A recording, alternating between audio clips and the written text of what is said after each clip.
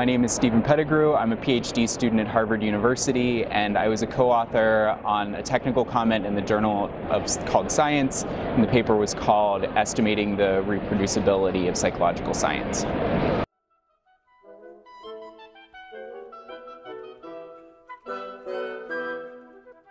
Yeah, so there was a team of uh, several hundred psychologists who uh, went out and they identified a whole bunch of psychological experiments um, in behavioral psychology and a, a, few other psychological subfields. And what they did was uh, they took these results and they replicated the studies, so they reran the experiments. And the main finding that they had, uh, they argued that they found um, very low percentage of these uh, psychology experiments successfully replicated the effects. So they took the first result in each of these 100 papers and, um, and attempted to, in a, in a totally new experiment, experiment tried to recover that same effect. Um, and, and they argued in the original paper that they uh, were successful. There was a few different metrics that they used, but they were only successful in roughly a third of uh, these 100 studies.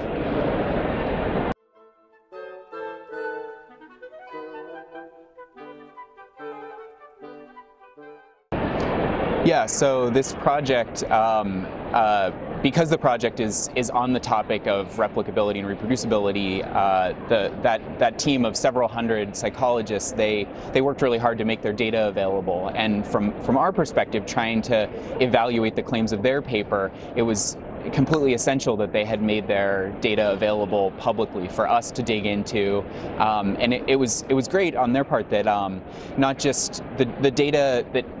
they, they, they made available all the data that they collected through their entire uh, through the entire process, including stuff that didn't end up even making it into the paper, but that um, was just some ancillary stuff that that they collected. And and uh, as we started to analyze that data, that's when we started to find some of the conclusions that um, arose in our in our response to their paper.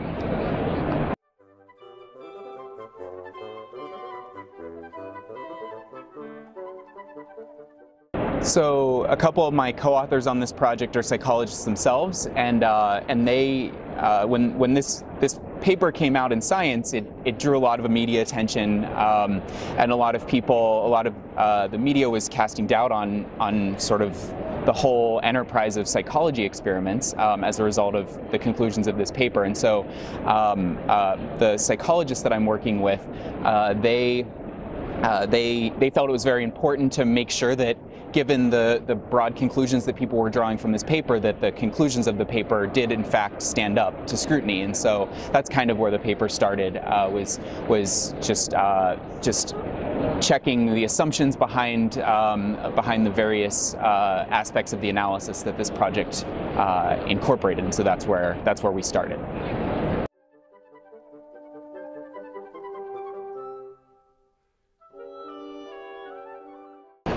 So the main takeaway of our paper, um, what, what, we found very quickly was that a lot of these 100 experiments that had been uh, replicated,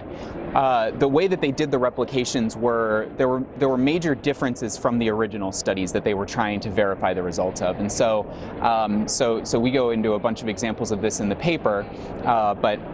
but some of them, um, for example, there was a study on how students perceive uh, race in admissions decisions in, um, in, in, universities. And the original study that they were attempting to replicate was run, uh, I think, at a school in California. Uh, the replication team, when they ran the replication, they replicated this result with students from the Netherlands. And so we found, we found that there were lots of instances where uh, the replication studies were, uh, they were different in very significant and important ways that would, would just on face would seem that it would make it less likely that they would succeed in replicating the original result, even if the original result were true. Um, and so we, uh, and, and, in fact, I mentioned earlier that uh, that the that the they made available lots of data that um, wasn't wasn't necessarily part of the analyses in their paper. And one of the things that they included in in the in this data set was. Um, uh, they asked the they reached out to the original authors of all of these studies and asked whether or not the original authors endorsed the replication protocols. So they were they provided sort of the explanation of how they were going to replicate these experiments, um, and then the the replicators were given an opportunity to um, indicate whether they felt that the the replication was a faithful one. And, and what we found was that among the ones that were in fact uh, endorsed, those replicated um, pretty well at, at, a very high rate, but, but that basically all of the failures had not been endorsed by the original authors. And so um, we took this as maybe an indication that at least some of these replication studies were not faithful to the original studies in a way, in, a, in an important way. And so that was, um, that was sort of the major finding that we had.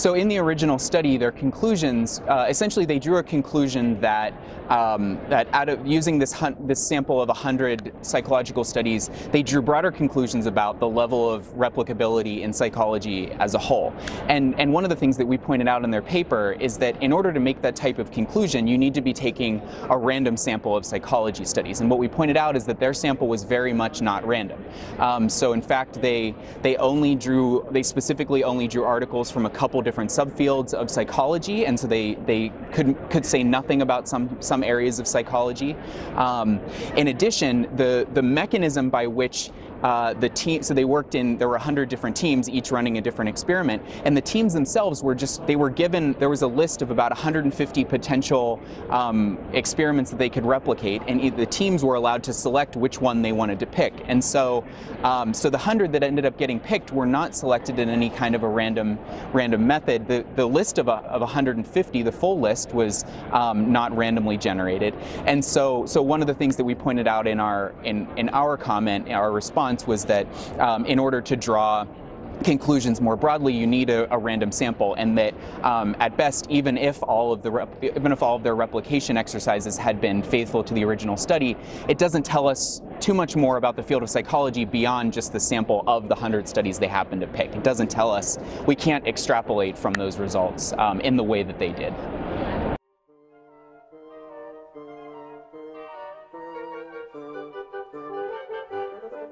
So the origin after our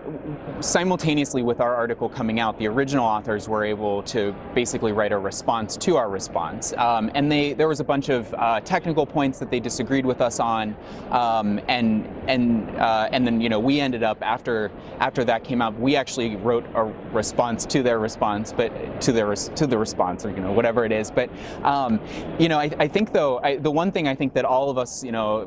me and my co-authors as well as the people on the other side that um, we all agree with is that um, it's really important to have sort of this iteration back and forth um, between uh, different, you know, people who who come to different conclusions by looking at at the same at the same data. Um, that's just sort of how science works, and so. Um, so it, it, would actually, I, you know, I think it was a really positive experience for um, for the for psychology and just social science as a whole for this discussion to go on. it allows for you know, the, the, all the perspectives to be put out there and everybody to lay out their evidence um, in a very clear way. Um, and then, you know, going forward, it allows uh, future researchers, researchers to sort of build on one of those two sides or just evaluate for themselves, um, uh, you know, what they believe in terms of where the evidence is strongest, which side has the stronger evidence. So that was a really great, I think, I think this project in particular did a very nice job of highlighting um, that aspect of science, just sort of the, um, the everybody working toward the same goal of um, figuring out the truth um, and and you know making a case in the best way that they can.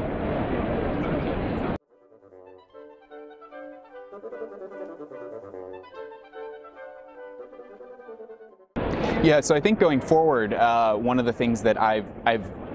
I've, I've, appreciated even more is just the value of making data available and and um, and and how important it is that for for any research topic, uh, you're going to get people who maybe disagree with your conclusions and maybe even write a, a response that gets put into a journal that that is critical of what you claim. But um, for me going forward, I think the important thing is just to remember that um, is is to to go into the you know think about those experiences that everybody's coming at it in good faith um, and that everybody's working toward the same goal of you know getting to the bottom of an interesting social question, um, and and and you know, it just it just reminds me of the importance of that aspect of science, of just um, everybody uh, presenting the best evidence that they can and uh, allowing the allowing there to be this back and forth conversation that goes on in the literature. Um, and, and you know, that's really the way that we we come to realize that we've actually learned something.